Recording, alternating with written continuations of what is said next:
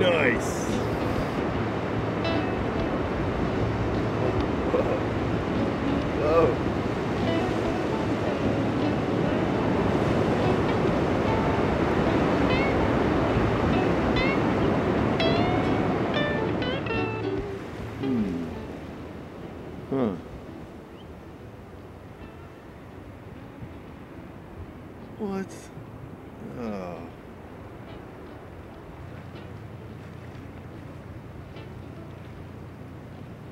Ah.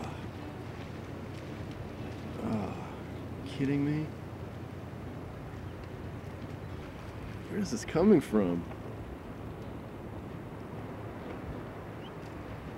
I'll get to the bottom of this.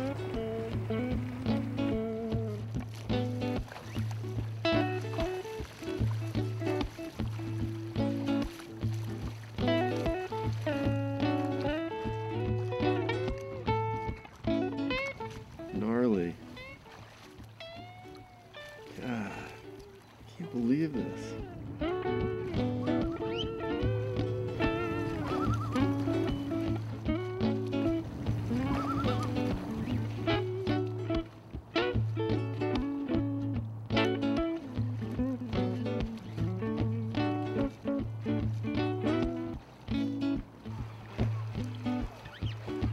Hmm.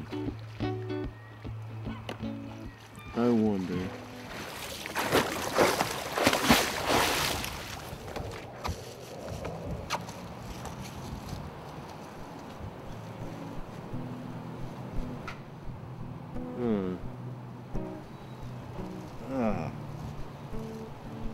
I gotta find who's responsible for this.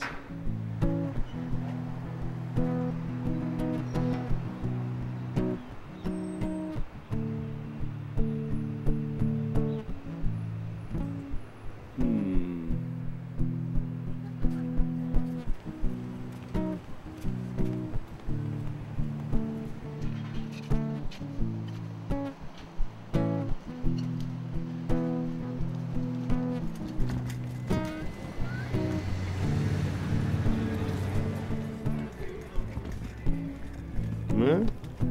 No.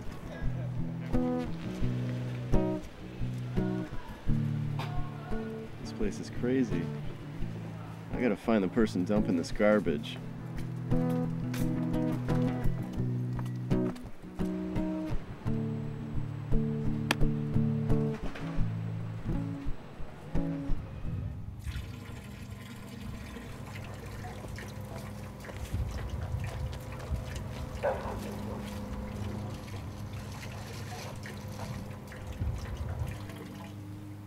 Hi, can I help you?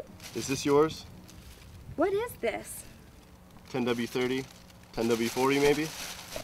Where did you find that? I was surfing out at the beach and I found it in the water. My garbage ended up at the beach. That's right. But I thought that the water from the storm drains was clean before it went into the ocean. No. Most storm drains empty into rivers, streams, or the ocean. Here in Portland, some storm drains flow right into the bay, and others are connected to combined sewage overflows, or CSOs, which under normal conditions send the water to the city treatment plant.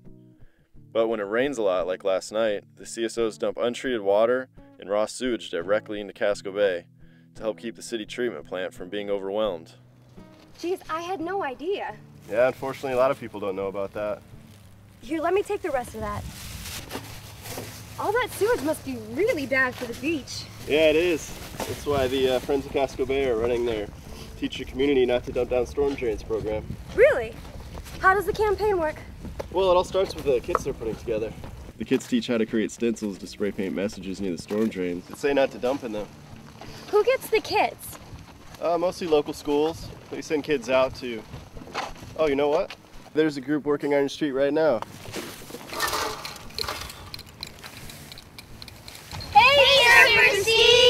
Hey, kids. All these kids know you? A lot of people know me. So, how does this work? Well, you get the kit with the essentials, of course a stencil and can of spray paint. Then it's just a matter of laying down a smooth, even coat while staying safe. So, anyone can just grab a can of spray paint and start cracking? Well, it isn't rocket science, but there are a few things you'll need to know. After you decide where to stencil, you're going to want to let the community know ahead of time, so knocking on doors and handing out pamphlets is a good idea. Also, you'll want to wear old clothes the day of. The spray paint tends to find its way onto many more things other than just the stencil. Oh, bummer. Everyone wants their gear to stay fly. Old sneakers, pants, and a shirt that you don't mind getting dirty are a smart idea. When it comes to the paint, you also might want to consider bringing a sheet of cardboard to block the wind and plastic bags to carry away the wet stencils. Make sure you don't leave the wet sides together or they'll dry and stick. Yuck! Weather over 50 degrees Fahrenheit is ideal for paint to dry. Also, make sure to watch out for traffic and keep away from unfamiliar animals you see around the neighborhood. Getting hurt is the first step towards improper stencil making.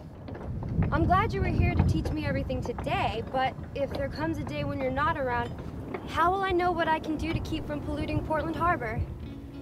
Well, you can find all kinds of information about how to help your local watershed by visiting friendsofcascobay.org. So, uh, do you want to ride home in my car? Oh, no thanks. I'm not into cars. Later.